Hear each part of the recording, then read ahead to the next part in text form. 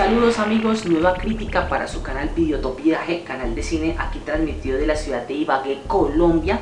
Y voy a hacer una crítica lo más comprimida que se pueda de la película Armero, que es la película que recrea los sucesos eh, basados en la tragedia de la avalancha que sepultó este pueblo el 13 de noviembre de 1985, película escrita y dirigida por el señor Cristian Mantilla y estelarizada por Juliette Flores en el papel de Omaira, una estilista, no era niño Omaira, y del señor Benjamín Herrera, que todos conocemos como Ramoncito en la mítica serie de los 80 Dejémonos de bailes, que aquí ya que está mucho más mayor. Esta película cuenta con un reparto muy amplio, sí, cuenta pues con un presupuesto que se ve entre comillas, que es muy interesante. Es una película de corte comercial, no es una película de cine arte, no es una película de festival, es una película que tenía unas intenciones muy fuertes y claras para poder venderse en taquilla. Esta película ha generado mucha controversia y discrepancia a lo largo y ancho del país.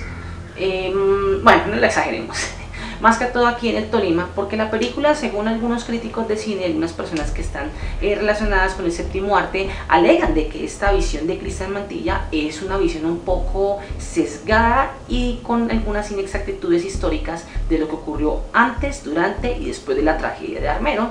Y algunas personas han alabado la película como una película muy interesante que no ha sido del Tolima. Y yo me preguntaba por qué le están tirando tanto raya a la película de Cristian Mantilla. Me dio por verme esta película, estuve hace unas horas en cine y pude constatar algo de Armero. Y es que Cristian Mantilla eh, es un tipo que vende muy bien ideas, pero es un tipo que le falta muchas dinámicas como director. ¿Por qué digo eso? Porque la película, a pesar de que muestra unos recursos muy interesantes a nivel estético y un guion, una historia que está bien, que funciona bien para eh, el público que no está enseñado a ver películas más cinéfilas, por decirlo así, más artísticas, eh, tiende a gustar. Yo esta película me la vi con mi pareja. Mi pareja evidentemente se conmovió de la historia.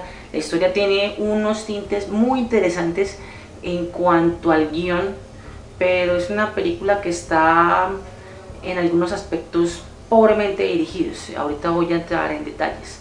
Quiero entrar primero en el desarrollo de los personajes de la película. Evidentemente, como lo había mencionado antes de empezar esta crítica, la película eh, nos recrea todo el contexto social, económico de lo que sucedió antes del 13 de noviembre de 1985 y destaca que esta historia está basada en una historia de amor que la protagoniza Juliette Flores Omaira y Benjamín Herrera, que es Ramiro, Ramoncito como conocemos, eh, hay una química interesante en los actores y a pesar de que la dirección de Mantilla no le da para más, eh, hace que la historia en ese punto está bien.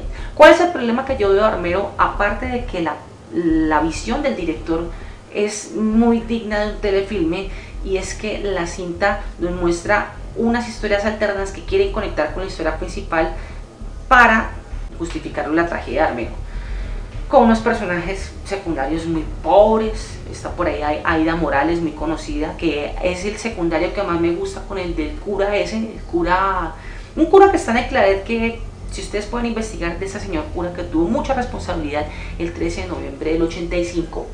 Y hay otro tipo de personajes, un elenco de personajes muy amplio, muy conocidos en la televisión nacional, pero que no aportan ni le restan nada a la película. La música de la película hay momentos donde me suena muy cimeriana, muy Hans Zimmer, pero que en sí la música no está mal. Lo que está mal es el montaje de la música, como el montaje de la película y el lenguaje audiovisual del señor Cristian Mantilla. Es un lenguaje audiovisual que personalmente eh, carece de muchos recursos fílmicos, eh, carece de muchas tomas interesantes. Hay elementos dentro del lenguaje y planos que sorprenden un poco, que tú dices están bien logrados, pero la gran mayoría de planos están muy desaprovechados. Y esto hace que el montaje pierda ritmo, pierda tensión, muchas cosas, porque pensaba que aparte de ser un drama nos iba a dar una tensión. Desafortunadamente eh, la visión que tenía Mantilla pues era muy distinta, que dentro del guion está válida. El problema que yo considero es que él no supo darle la cohesión necesaria que necesitaba esta historia. Los efectos especiales, esta película según eso, se tardó mucho tiempo, que tuvo más de 10 años en postproducción, que se me hace demasiado tiempo, y uno ve un efecto, un trabajo de efectos especiales muy flojo, unas secuencias mm, rodadas de una forma muy, precaria, la verdad, precarias. Yo realmente esperaba mucho de Armero, esta película, pero encuentro en esta cinta que hay más falencias que virtudes, que hay más elementos a criticar cuestionables y que le da mucha opinión para que muchas personas que pues eran detractoras de la película le hicieran algo. Hubiera sido muy bueno que el departamento del Tolima, eh, en un acto de contrición histórica a lo que ellos pudieron evitar, porque el gobernador de la época y la asamblea de la época sabían las consecuencias del Congreso de la República, sabía en la película, sí se retrata muy bien esto, que de algún modo eh, hubieran participado en la película, ¿por qué no? Y desafortunadamente no, Mantilla se llevó su película para el Santander, la rodó allá, unas locaciones muy parecidas y una recreación que eso sí se le agradece a, a Cristian Mantilla y elementos de, Armero que en fotos está muy bien recreada pero desafortunadamente en esta película yo realmente salí un poquito como medio mosqueado porque pensaba encontrarme con más, desafortunadamente no. Y para mí Armero es una película que le doy dos estrellas y medio. Y es lamentable porque tuvimos que esperar más de 10 años para poder ver una película flojita. Voy a prometerles que voy a hacer una reseña exclusiva con spoilers, porque es que tengo que hablar spoilers de esta película como tal. Si te gustó este video, dale pulgares arriba, suscríbete a mi canal y nos estaremos viendo en una próxima emisión. Yo soy Mauricio G y esto es Videotopiaje. Chao, que estén bien.